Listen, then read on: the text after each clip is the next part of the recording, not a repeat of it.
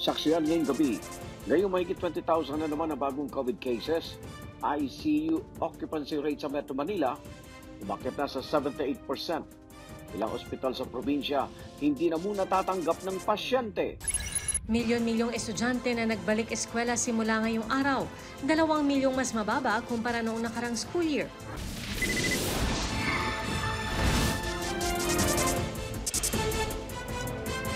Igan, sa Webes September 16, ipatutupad na ang alert level system ng bagong estratehiya para makontrol ang kaso ng COVID-19. Sa gitna po yan ng tatlong araw ng mahigit 20,000 bagong kaso na naitatala sa bansa. Nadagdagan pa ang mga ospital na hindi na makatanggap ng COVID patients. Saksi, si Marie Zumal. Halos dikit-dikit na ang mga tao sa Ugbo Street sa Tondo, Maynila bago mag alas 7.30 kagabi. Wala na halos physical distancing, wala rin face shield ang marami. Dinarayo ang lugar dahil sa iba't ibang kainan. Paliwanag ng barangay, Mahigpit kami. Gabi-gabi talaga nag-iikot ang mga tanod ko dyan. Pagdating ng 8, nag-iikot na dyan. Nagpapasara na kami. O konti pa tao, miskin nung mag-ano, miskin di pa umulan, konti pa. Tapos nung umulan talaga, walang tao. Nagulat na lang talaga kagabi, biglang dami ng tao. Nag 8 na, talagang ala na 8 na, sa pinatay na lahat ng ilaw, pinasarado na lahat. wala naman daw pinagmulta pero inilista ang pangalan ng ilang nasa ugbo at pinagsabihang pwede silang ireklamo kapag naulit ito. Ngayon, mas naghigpit na raw sila sa pagpasok ng mga bisita at pinagsabihan ang mga nagtitinda. Marami naman siguro kayong makakainan, hindi lang dito. Sana ay maintindihan nyo kami, kasi kayo kakain lang eh. Kami mananagot eh, kami mga barangay official. Masarap talaga pagkain dito sa Ugbo. Masarap, malasa. Baka pag uwi nyo ng bahay nyo, wala na kayong panlasa. Tatlong araw ng mahigit 20,000 ang new COVID cases sa bansa, 35,307 ang nasawi, bagamat mahigit 90% ng mga nagka-COVID sa bansa gumaling. Sa mahigit 2.2 million total cases, 2,708 ang kumpirmadong Delta variant, 640 ang nadagdag ngayong araw. Pinakamarami ay naitala sa Metro Manila. Karamihan din gumaling pero labintatlo ang nasawi. Tatlo ang pinapagaling pa. Sa Metro Manila, 78% ng okupado ang ICU bed simula kahapon, base sa Daily Bulletin ng Department of Health. Ang mataas na demand para sa mga kama at health worker ramdam sa Philippine General Hospital na isa sa mga pangunahing COVID referral hospital. Sa 320 beds na nakalaan para sa COVID, 310 ang may nakadmit. Ang problema, 35 pa ang naghihintay sa emergency room. Bukod pa yan sa mahigit isandaang naghihintay sa ibang ospital o di kaya sa kani-kanilang bahay. there's a high demand for uh, high flow machine at uh, ventilator kasi marami po sa ating mga pasyente ay nangailangan ng oxygen. Kaya po yung ating mga kwarto sa PGH at sama, kailangan po may mga oxygen port sana. Kaya kung minsan po ay hindi kagad-kagad natin maipasok yung iba dahil uh, nagamit na lahat ng mga oxygen port. So hinihintay natin gusto ng bakante. Dagdag kalbaryo para sa operasyon ng ospital ang hindi pa rin napapalitang labing isang volunteer doctor mula DOH na hindi na raw nag-renew ng kontrata dahil nais nang ipagpatuloy ang kanilang residency. Nakakapilay din po sa manpower natin. Kahit isang doktor po ang ah, mawala ay malaking tulong po ang nawawala. So, ang ginawa po namin, humingi po tayo ng tulong sa iba't ibang departments po sa Philippine General Hospital ah, na magbigay po ng mga residenteng doktor na tumulong po sa COVID operations para mapunan po yung mga ah, position na naiwan po ng ating mga hindi na rin yung mga doktor. Kulang din sa tauhan ng Rosario Maclam Bautista General Hospital sa Quezon City na naghahanap ng dagdag na full-time nurse. Sa Quezon Province, hindi muna tatanggap ng COVID patients ang Claro M. Recto Memorial Hospital sa Infanta at Magsaysay Memorial Hospital sa Lopez. Sa Gumaca District Hospital sa bayan naman ng Gumaca, hindi na muna tatanggap ng anumang pasyente. Tatanggap lang ang tatlong ospital kung emergency case. Itinaas naman ng DOH ang Alert Level 4 sa Bacolod City dahil sa dumaraming kaso, mahigit 1,400 ang active cases sa lungsod. Sa gitna ng pagkapuno ng ilang ospital, panawagan ni Dr. Jennifer Aranza Mendez sa lahat, magpabakuna na. sunod-sunod siguro na araw, it was out of frus- frustration because sunod-sunod na araw na, na nagkakaroon kami ng morbidity, mortalities ng mga OB patients na pwede sanang mapigilan, na kaya pa sana. Um, Kaya lang kasi karamihan sa kanila hindi vaccinated. Yun yung sanang maitutulong sa amin ng mga ng mga tao na magpa-vaccine Ako si Mariz Umali ang inyong saksi. Mahigit 24 na milyong mag-aaral mula kinder hanggang grade 12 ang nagbalik eskwela simula ngayong araw. Pero ang bilang ng enrollees mas mababa ng 2 milyon kumpara noong nakaraang school year. Saksi, si Maki Pulido. Unang araw ng klase pero hindi pa rin sa silid-aralan ang punta ng mga estudyante. Sa halip, mga magulang ang nakapila sa mga eskwelahan para kumuha ng learning modules ng kanilang mga anak. Ang milyon-milyong mga estudyante nasa bahay nakikinig kay teacher online. Pero mahirap daw, sabi ng limang taong gulang na si Calvin. mawawala po ng signal. Ano po, hindi po maraw sa kanila, dito lamang po. Mas mahirap bang intindihin yung klase? Opo. Ang mahirap pa para sa nanay ni Calvin ang pambili ng load. pandagdag na din po siya sana sa pagkain pero kailangan ko itipid dahil lang sa para may pangload Si Teacher Nestor Reyes hindi naka-online sa unang araw ng klase dahil walang mahagip na internet connection. At tulad ng mga estudyante niya, malaking gastos din ang pang-load. May libreng 30 gig kada buwan para sa mga teacher pero dahil limang klase ang tinuturuan ni Teacher Nestor, pang tatlong araw lang ito kaya kailangan niyang magtabi ng aabot sa 500 pesos kada linggo. malaking kabawasan ito sa kakarampot na naming kita. Alam naman natin dito sa Pilipinas, ang ah, ah, profesyon ng mga guro ang isa sa pinaka-neglected. Dagdag na suporta sa mga guro at pagkundina sa kapabayaan ng gobyerno sa sektor ng edukasyon ang ilan sa mga sinasabi nilang dahilan kaya sinalubong ng Alliance of Concerned Teachers ng protesta ang pagbubukas ng eskwela. Pero giit ng Department of Education, sa kabila ng kakulangan sa pondo at mga hamong dala ng pandemya, nakatugon ng ahensya. Katulong ang mga LGU at business sector, may mga inihanda raw na mga programa ngayong taon para sa mga hirap sa internet at may 5,000 pesos na cash allowance sa mga teacher. Maaga ring ipinamahagi ng DepEd ang pondo sa mga eskwelahan para sa pag-imprenta at distribusyon ng learning modules. kung mayroon pong pangangailangan ng tulong mula sa mga guro, ay meron po tayong teachers na nahahire ng ating local government units at ng DepEd. Parang tutor sila na pupunta sa community. Ganun pa man, 24.6 million pa lang ang nakapag-enroll ngayong araw, mas mababa ng 2 million kumpara noong nakaraang taon. Umaasa ang DepEd na madagdagan pa ito dahil extended hanggang September 30 ang enrollment. Unemployment during the second quarter of 2021 remains high at 6.9%, with underemployment soaring to 20.9%. We all know that employment is correlated with enrollment. Parents cannot send their children to school if they don't have jobs to support their children. Ganun pa man, isang indikasyon daw na naging matagumpay ang blended at online learning. Graduate ang 98% ng mga grade 6 at 97% ang natapos ng grade 11. May nakahanda ng mga panuntunan ng DepEd para sa pilot face-to-face classes ng piling lugar. Ang hinihintay na lang nila ay aprubahan ito ni Pangulong Duterte. Ako si Maki Pulido, ang inyong saksi. Pahirapan ang pagkuha ng mga module sa Ilagan Isabela. Bukod kasi sa mga lockdown, katatapos lang ding manalasan ng bagyo sa lugar. Kapos din sa pera at walang oras ang ilang magulang para kumuha ng module. Sa Senator Ninoy Aquino Sultan Kudrat, mga kabayo ang naghahatid ng module. Layon na matinaguri ang kabayo ni Juan na maihatid ang edukasyon kahit sa mga bulubundukin at liblib na lugar. Sa Dagupan City, sa October 4 pa ang simula ng klase dahil sa umiiral na public health emergency.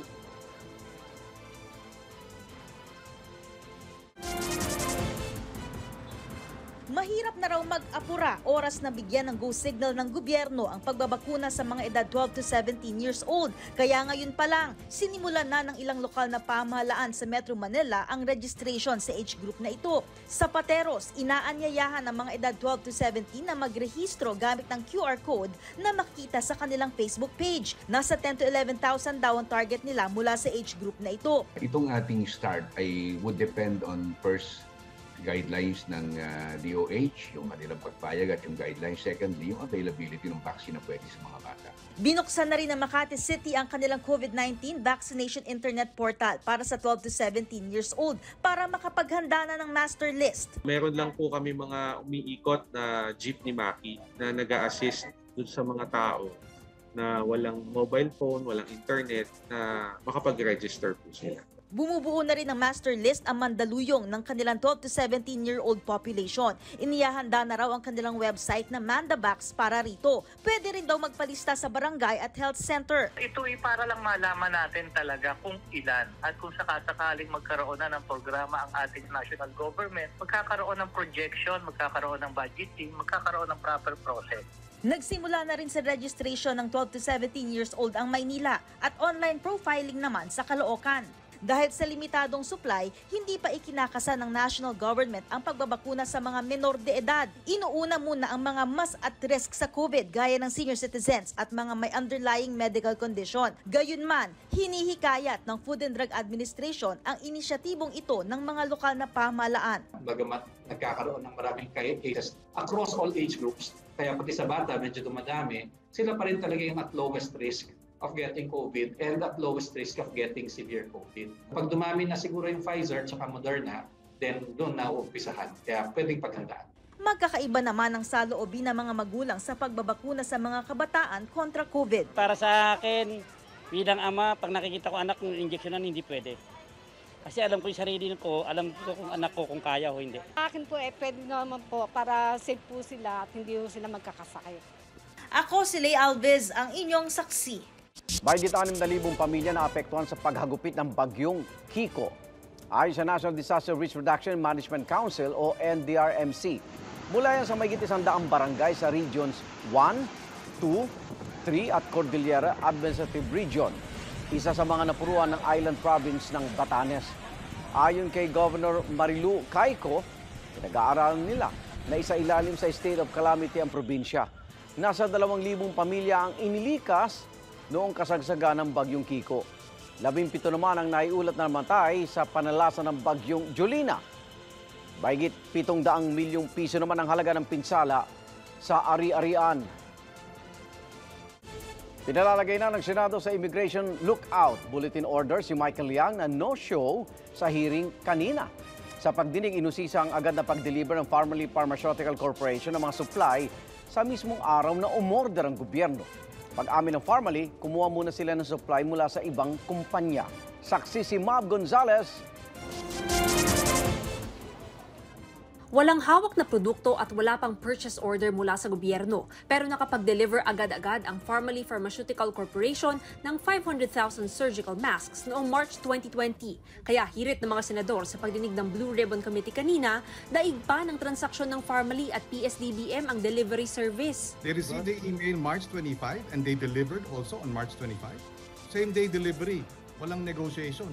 Walang pag-uusap. Email lang. Tama ba yun? Sandwich, dineliver ka agad. On the same day. On the same day. Mas katakataka pa raw na nag-deliver agad ng masks ang Pharmaly ng March 25 at nabayaran na sila ng April 15 ngayong April 16, 2020 pa ang petsa ng purchase order mula sa PSDBM. Sagot ng Pharmaly, April 6, 2020 ang hawak nilang purchase order kaya pinalilinaw sa PSDBM kung aling petsa ang tama.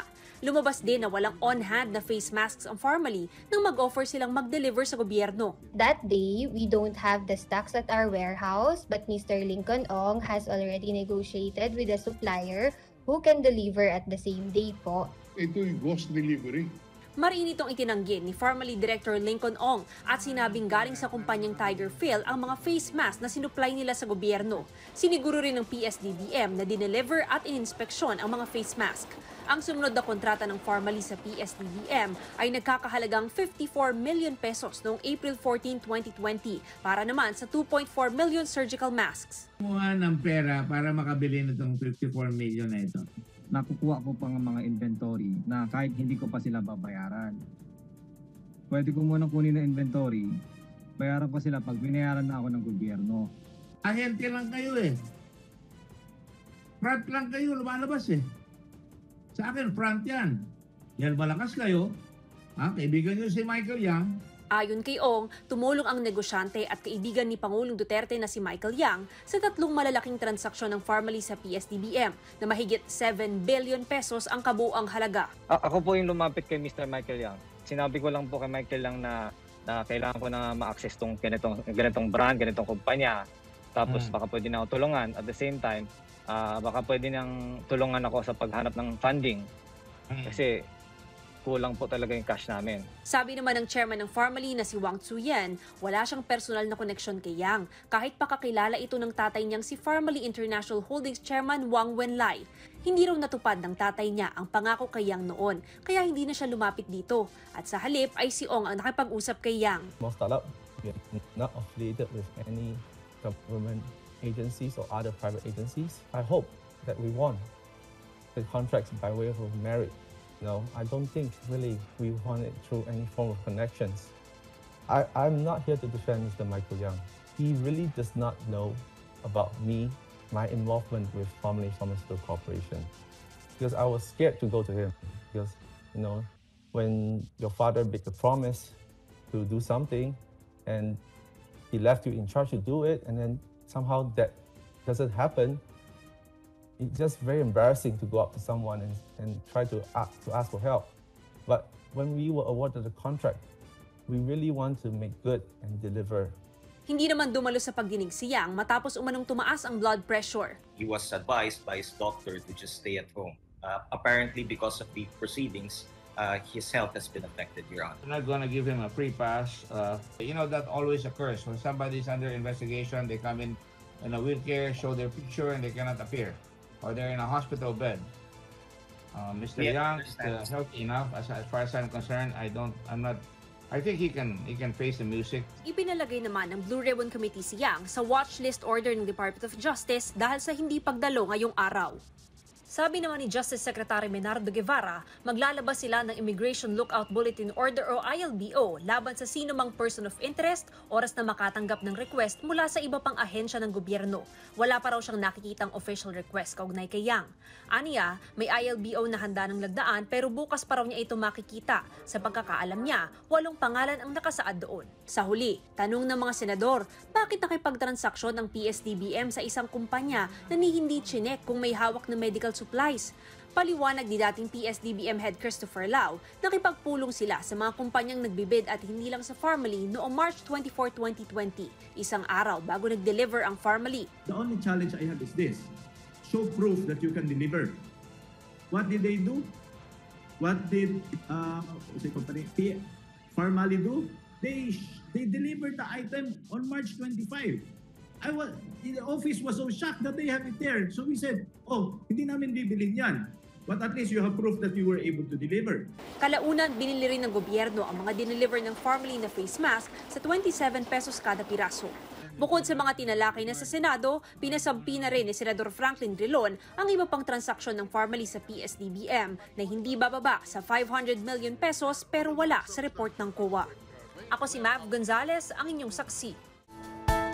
Mga kapuso, ika nga nila, age is just a number. Pero hindi basta-basta ang na-achieve na age ni Lola Iska ng Kabankalan, Negros Occidental.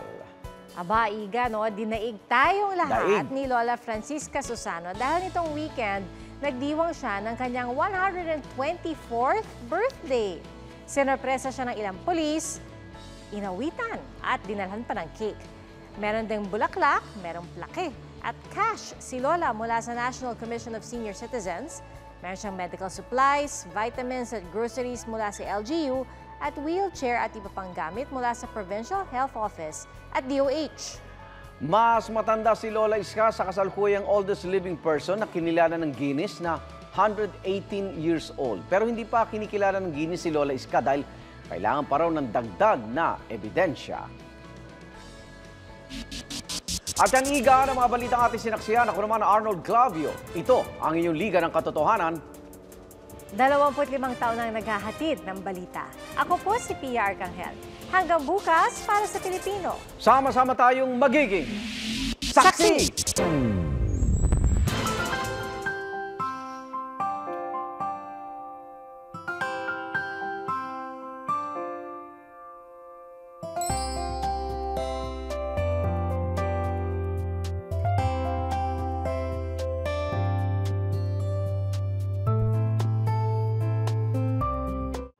Makaigang saksi ng unang pasok ng mga balita. Maaring mapanood ng saksi at ang iba pang GMA Newscast sa youtube.com slash GMA News.